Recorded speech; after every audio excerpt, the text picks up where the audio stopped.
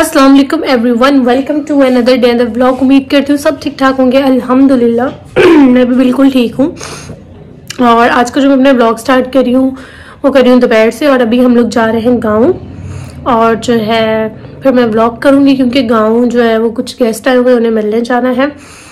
तो बस उनको मिलने के लिए जा रहे हैं। बाकी मैं आपको अपना आउटफिट दिखाती हूँ। अगर आप मुझे काफ़ी पहले से फॉलो करते हैं तो मैंने ये शर्ट दिखाई थी। मैंने लास्ट टाइम ये शर्ट जो है, वो एथेनिक से ली थी।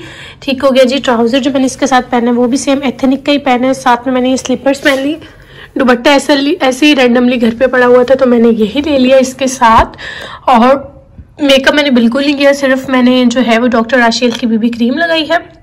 और जो है, बहुत से लोग पूछते हैं लिप्स पे तो ये वाली लिप बाम लगाई है मैंने।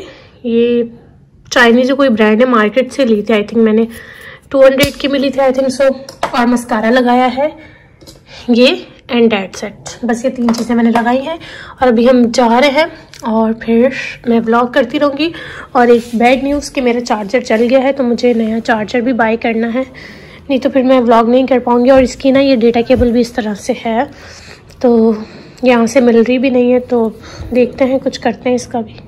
ओके okay जी तो अभी हम लोग जा रहे हैं गाँव और एस ओ मस्ट है। मास्क पहन लेते हैं, उतार लेते हैं और जो है ना, बस यही चलता रहता है। कभी तो याद भूल जाता है और कभी पहन लेती हूँ कभी नहीं। बट ये बात ज़रूर बोलूँगी कि एस पीज़ मस्त हैं। गाँव आके हम लोगों ने फिर थोड़ी देर बैठे वगैरह, चाय वगैरह पी, उसके बाद हम लोग आ गए थे पिक्चर्स वगैरह क्लिक करने के लिए। कज़िन के साथ तो अभी हमने यहाँ पे पिक्चर्स वगैरह क्लिक कर ली हैं। और अभी हम लोग वापस घर जा रहे हैं। सनसेट के पास पिक्चर्स वगैरह ली थी हमने थोड़ी बहुत। और जो है बाकी यहाँ पर ये लोग रुके हुए बात कर रहे थे किसी से। और हम लोग जा रहे हैं वापस गाँव।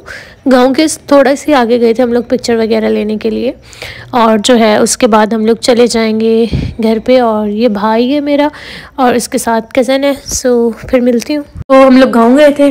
गाँव से वापस आ गए हैं और मैंने इतना ज़्यादा व्लॉग नहीं किया, मुझे पता है, क्योंकि जब आप, एक मिनट जब आप अपनों के साथ टाइम स्पेंड करते हैं तो बिल्कुल व्लॉग करने का याद नहीं रहता तो सेम मेरे साथ भी ये सिचुएशन और कमीने कज़न ने मेरा नाखून भी तोड़ दिया, ये देखे इतनी ज़्यादा मुझे यहाँ पे दर्द हो रही है।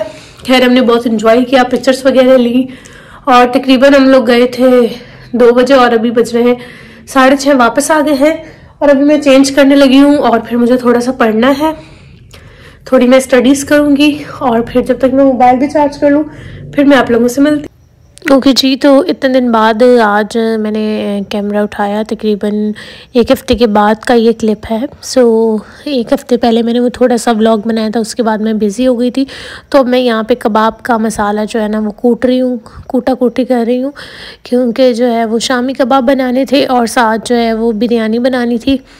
तो मैं उसी के लिए जो है ना वो टेक्सचर तैयार कर रही हूँ। सिंपल जो है वो इसमें मैंने डाली थी दाल और चिकन और उनको बॉईल कर लिया था और जो भी आप नमक मसाले वगैरह डालते हैं वो बॉईल करके फिर अच्छे से मैंने इसकी फेंटी लगा ली थी और अब मैं जल्दी जल्दी टिक्कियाँ बनाऊँगी सो मेरी टिक्कियों को इग्नोर करिएगा। ऊपर वाले किचन में काम कर रहे हैं क्योंकि नीचे वाले किचन में थोड़ा कारपेंटर आया हुआ था तो काम चल रहा था नीचे वाले किचन का।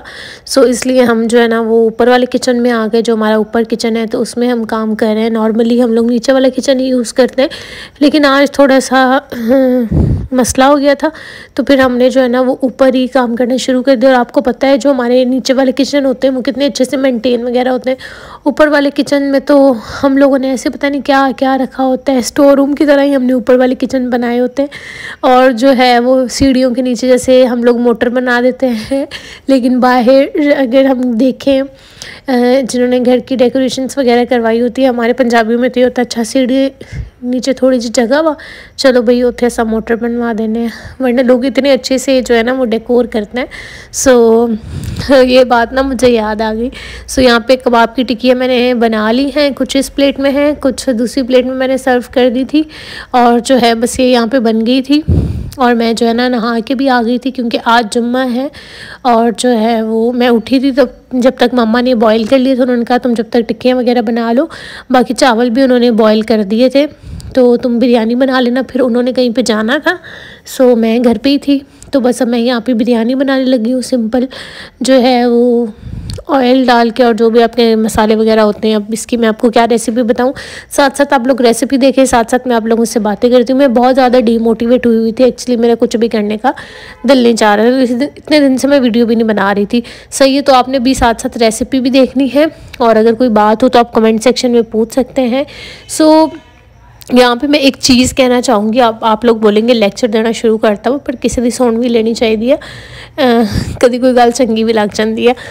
सो so, बहुत से लोग पूछते हैं और मेरे पास मैसेजेस भी आते हैं कि जो है वो आ, आपके पेरेंट्स कैसे माने इन सब के लिए?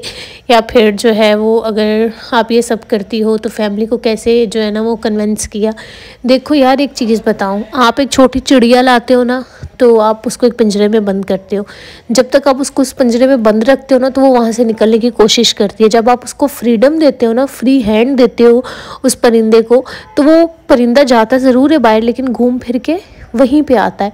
तो ये फैक्ट हमारी लाइफ में भी मैटर करता है कि अगर हम किसी रिश्ते में, अपने रिश्ते में फ्रीडम देते हैं किसी चीज़ को रिलेशनशिप में किसी चीज़ रिलेशनशिप में बात कर लें या अपने बच्चों की बात कर लें या अपने बहन भाइयों की किसी भी चीज़ पर ये फैक्ट जो है ना वो अप्लाई ज़रूर होता है। जब आप अपने बच्चे को फ्रीडम दोगे तो वो ज़रूर जाएगा, हर चीज़ करेगा, लेकिन वो वापस वहीं पर आएगा जहाँ पर उसका ठिकाना है।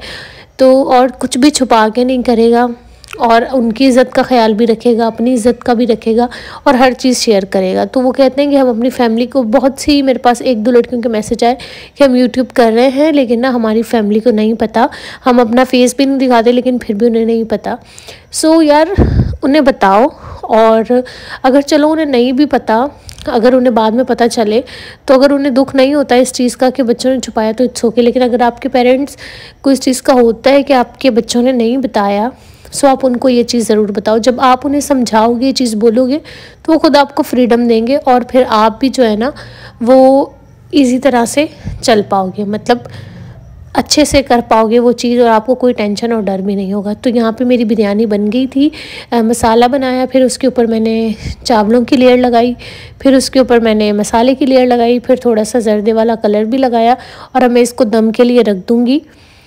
और साथ साथ मैंने अपनी नेल पेंट भी रिमूव कर ली थी। क्योंकि मुझे नमाज़ पढ़नी थी अभी और जो है वो बस मैं इनको दम पे रख के किचन भी सारा साफ़ सुथरा करूँगी क्योंकि बहुत ही खिलारा मच जाता है। हम कुछ भी मतलब बनाने लगे ना किचन बहुत गंदा हो जाता है भाई। तो मैं ये भी उठा, उठाऊँगी लेकिन अब मैंने नमाज़ वगैरह पढ़ ली है और अब जो है ना, बस दोबारा बैक टू वर्क क्योंकि मैं ना आज उठी ले तकरीबन बारह बजे और ये फिर करते करते ना अभी दो ढाई बज गए।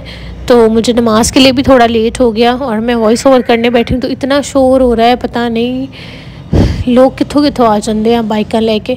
तो बस अब मैंने जो है ना, चावलों पे दम हटाना है और उससे पहले ही मैंने सारे बर्तन धोने हैं और मेरे ब्लॉग में बर्तन धोने को ना मिले, ऐसा तो हो नहीं सकता ना तो बर्तन धोना तो मस्त है। और बहुत से लोग मुझसे पूछते हैं, आप हैंड फीट पे क्या लगाती हैं? आप हमें बताएँ, आप अपनी हैंड रूटीन शेयर करें।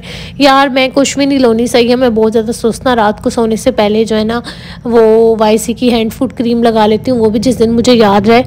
वरना, लै के तो मैं चीज़ें, बहुत शौक ना होनी है, लेकिन लगा नहीं सकती। लगा नहीं सकती का मतलब ये सुस्त हूँ, भूल जाती हूँ, याद नहीं रहता और सर्दियों में फिर उठने का दिल भी नहीं करता, सर्दी का लाभ तो फिर जो है ना, वैसे अगर आप लेना चाहो तो वो वाइसिक की हैंड फ़ूड क्रीम काफ़ी अच्छी है और रिजनेबल प्राइस में 500 के अंदर अंदर आपको जो है ना वो मिल जाएगी और अभी मुझे इस टाइम इतनी शदीद भूख लग रही है क्योंकि उठ के ना मैंने आज नाश्ता भी नहीं किया था। और कामों में लग गई तो बस अब मैं यहाँ पे अपना किचन वगैरह सारा अल्हम्दुलिल्लाह मैंने साफ़ कर लिया है और हमारे चावल भी मज़ेदार लजीज जो हैं वो बन गए हैं। बस आज ये हुआ था कि चावल ना थोड़े से ज़्यादा बॉयल हो गए थे और पतीले में जो है ना वो ज़्यादा अच्छी बिरयानी बनती है।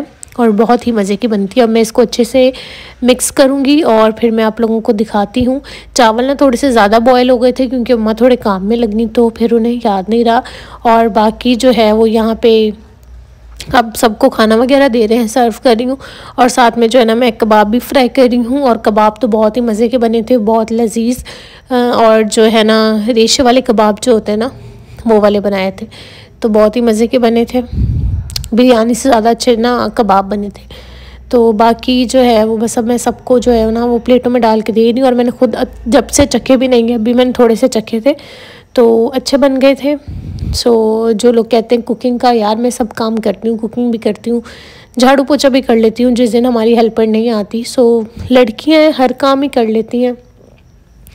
ऑब्वियसली मेरी माँ हूँ इन्नी भी चंगी नहीं है क्या आखे नहीं पुत तू आराम ना बह मैं रोटी भी तोड़ के तेरे मुँह च पानी है वो वाला हिसाब नहीं है सो अल्हम्दुलिल्लाह मैं सारे काम कर लेती हूँ और मुझे काम करना कोई बुरा नहीं लगता। मुझे कुकिंग करना वैसे ही पसंद है और जिस दिन मेरा मूड हो, मैं खुशी खुशी कर लेती हूँ और घर वालों की तरफ़ से भी ऐसा कोई प्रेशर नहीं है। बट ऑब्वियसली मम्मा ज़रूर कहती हैं, काम का हर हर किसी की माँ कहती हैं। बट फिर मम्मा ये भी कहती हैं कि सारी ज़िंदगी इन्होंने काम ही करना, मैं खैर, अब पापा भी ये बात कह देते हैं। तो बस कभी कभार कर लेती हूँ और फिर लड़कियाँ तो ऐसी ही होती हैं ना, माँ बाप की लाडली और नाजुक। नाजुक दिल की होती हैं यार लड़कियाँ। बस मेरे पापा, अम्मा यही कहते हैं कि लड़कियाँ बहुत नाजुक दिल की होती हैं। चलो जी, बहुत गल्ला हो गया और फिर मिलते हैं नेक्स्ट ब्लॉग में। जब तक के लिए अल्लाह हाफ़